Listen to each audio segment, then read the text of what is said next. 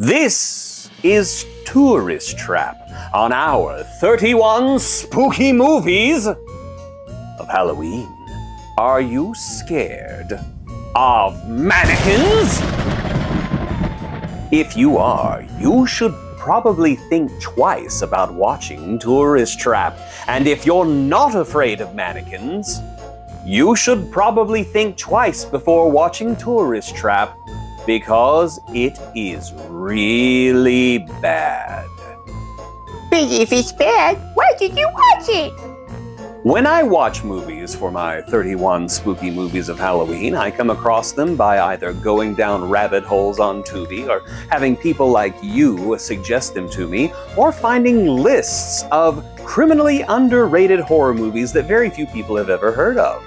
That's how I came across Tourist Trap.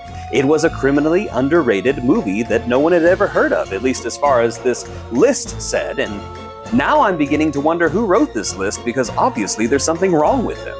Tourist Trap is a classic example of 70s trash horror. A simple premise stretched out over 90 minutes, even though it really only had legs for 45.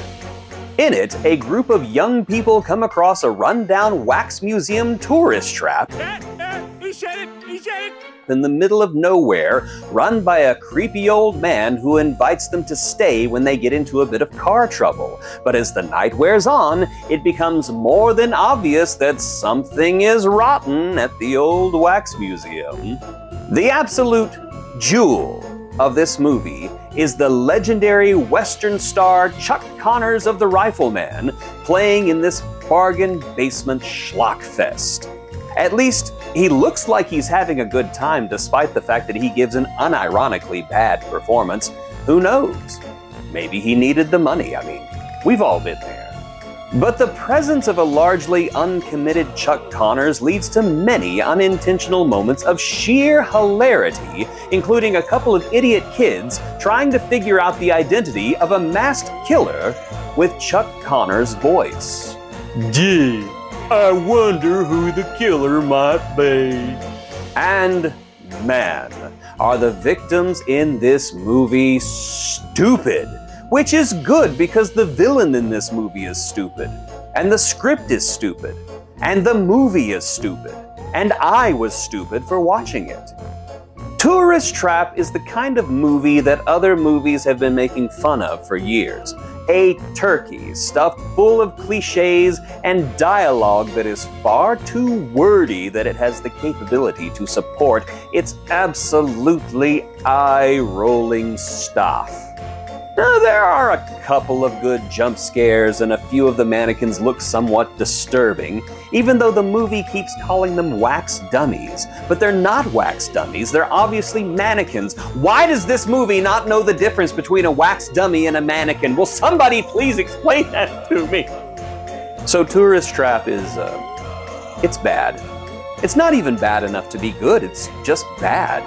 It's a plotting, petrified pile of stereotypes, moronic characters, and an insane shoestring of a plot.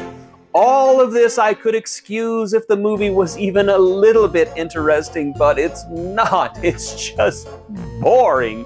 Stupefyingly boring. Even if you're a gorehound with low standards looking for some interesting kills or splattering body parts, you're going to be disappointed because Tourist Trap is rated PG, which makes this movie about as cutting and daring as a Disney Channel original movie. I understand that some people see this as a classic, and I would say that I understand why, but I don't. What is the appeal here? Explain it to me. Slowly. Use tiny words. Use sock puppets. Make me get why you think this movie is anything other than a steaming pile of who knows.